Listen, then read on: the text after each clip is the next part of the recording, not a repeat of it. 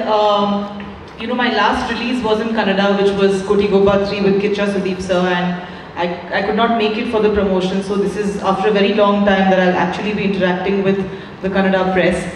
But I feel great to be here because, uh, you know, uh, Dish TV I think is not just one of the leading, but the leading pioneers when it comes to upgrading themselves to consumer behavior and, you know, uh, at lightning speed.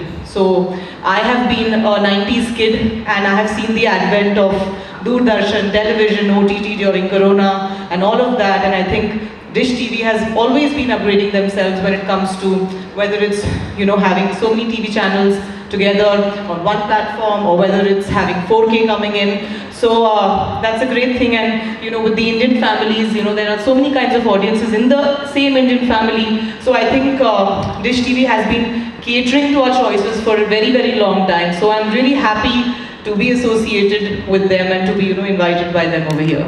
Love all of that coming up and I think like I said Dish TV has I think since 2002 uh, you know, constantly been upgrading themselves. And I feel, I think every time there will be something that comes up and, you know, uh, the consumer wants more and more, I think they, they would just cater to it and they'd be the first to do that. So uh, I'm, uh, like I said, I'm happy to be here.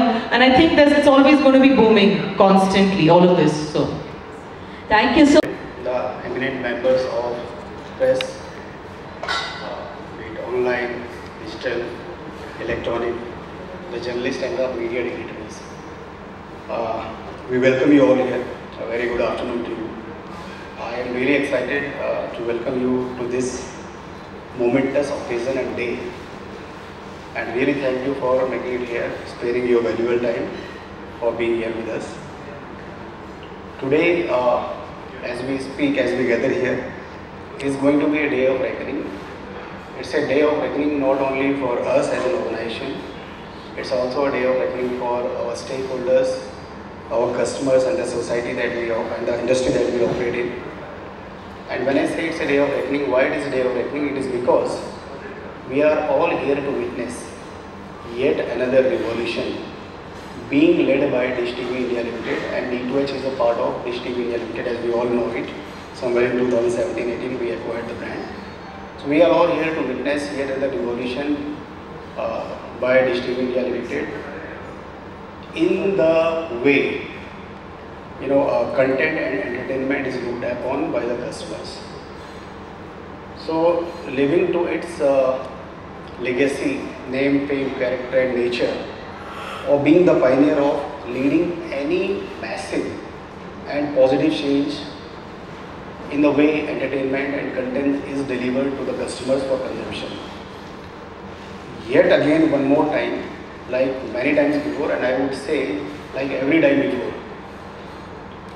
We are here to bring in something uh, absolutely disruptive uh, from the point of view of technology, from the point of view of content, from the point of view of entertainment, from the point of view of convenience, from the point of view of affordability uh, to all our customers alike, whether new or existing, or even the prospective customers uh, around out there in the world. So this is going to be a defining moment. Like we have always been pioneer, like I said, we have been always a pioneer in giving the direction to the industry. So anytime a massive disruption has happened, a thought which is revolutionary, Dish TV has been synonymous with that uh, initiative. So I'll just take a few moments of yours because the word we are insisting upon is revolution. So why is a revolution? So what is a revolution? Revolution is essentially something which is absolutely breakaway thought, a different in uh, difference in opinion, uh, a difference in the way things are looked upon or acted upon. So that's what a revolution is. And so we are just, I'll take you just a few decades back. So how this revolution has happened in the industry of content and entertainment. We all are, all are familiar when you know, the first TV came to India. It was in 1959. And why it is called a revolution? Because this is the you know stage from where these revolutions and evolutions of entertainment content started happening in the country. So 1959, till then what was happening? We all used to listen to the commentary or the news or anything of our interest, be it music or anything, over the radio or the transistors. right? But in 1959, the TV made its entry to the Indian household. Of course, it was that big box, uh, you know, round shape, you know, shutters opening and shutting. Those kind of TV which came and they were black and white. But yes, what it did, why it was a revolution? Because from just listening, you could see somebody, right? Uh, visually in the form of pictures. So that was the first revolution which happened in entertainment consumption. Now essentially what was happening, there was news uh, sponsored by or brought in by the government, uh, the only operator till that time in the content production. And slowly we had, uh, you know, more some bit of programs around agriculture, farming, uh, some regional folk music and dance making their entry into and all being produced by the Doordarshan and their regional centers spread across the country. So this era lasted some 20-21 years till color TV made an entry into our households somewhere around 1978, 79 and 80s and actually it picked up a lot of pace during the Asian Games which happened for the first time in the country in 1982. So the massification of color TV penetration started happening in India and during that time only we saw the next revolution coming in. We all know uh, Ramayana and Mahabharata, they added a completely new direction and horizon to what content can do and what kind of content can be produced and what customer is looking forward to. So this was the uh, era when you know a lot of broadcasters, a lot of private equities and entities started looking at content in a completely different way. And this was definitely because it was a completely different uh, breaking away from the traditional uh, ways of thinking and acting. So this was also sort of revolution for the country, in, especially in the space of entertainment and content. So what happened? Uh, people, uh, the uh, the broadcasters, they started seeing value in creating content beyond news, beyond sports. Drama started coming in, you know, uh, comedies, movies, uh, all those things started, uh, you know, getting liking by the customer and they started producing it. So there was a commercialization of content which has started happening. So taking a cue from this, lot of corporates, they started seeing a big opportunity going forward because it was the tilting of the scales in absolutely exponential way for the industry and this is where the uh, growth started steeping up for the content and the content producers.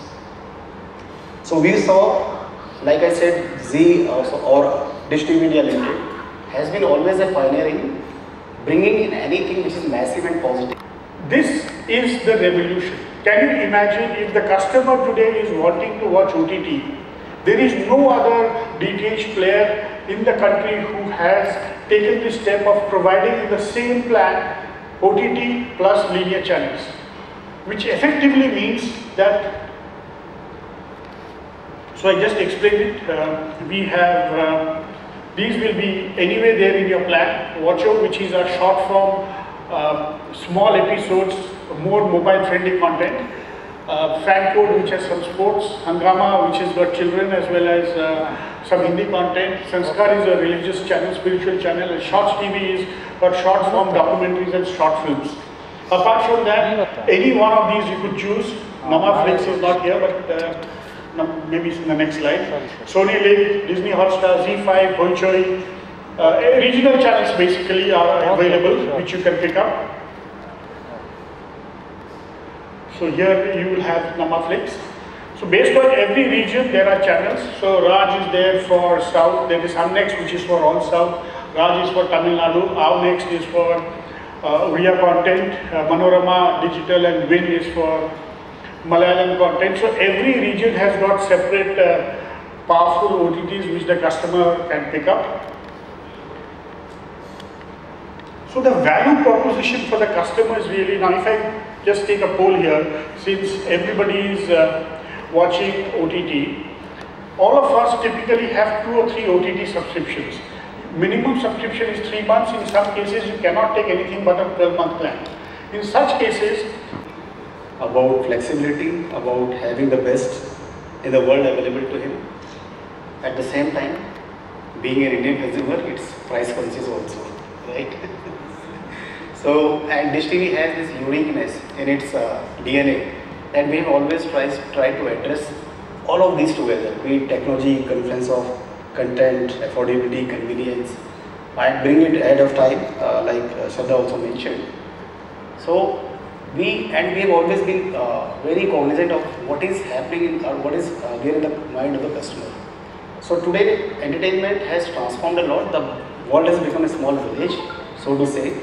Anything which is being produced anywhere is being accessed anywhere at a just a click of a you know download, right? And be in Brazil, be in Mexico, somewhere in Korea, Japan, anywhere, and there are likings for content across the globe from different sources of origin.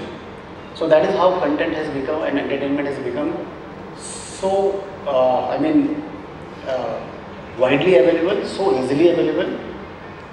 People are not following uh, uh, people are not following artists anymore, or they are not following they are not following platform anymore. So they are not bothered where it is being played. They are just following their star or their uh, you know role model, their idol. Like Shraddha today is doing a movie which can be on a OTT platform X.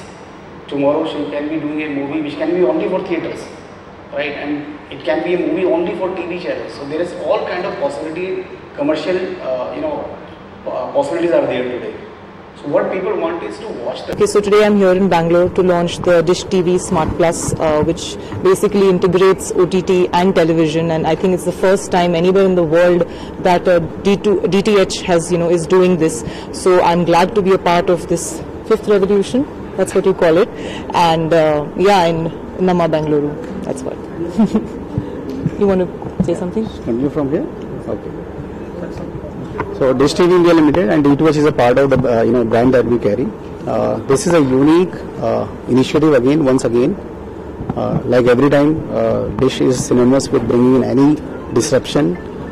And when I say disruption, it's a positive disruption for the customer, uh, wherein we provide them what they need in the best possible uh, subscription, uh, technologically making it possible for them without adding any newness to their viewing habits.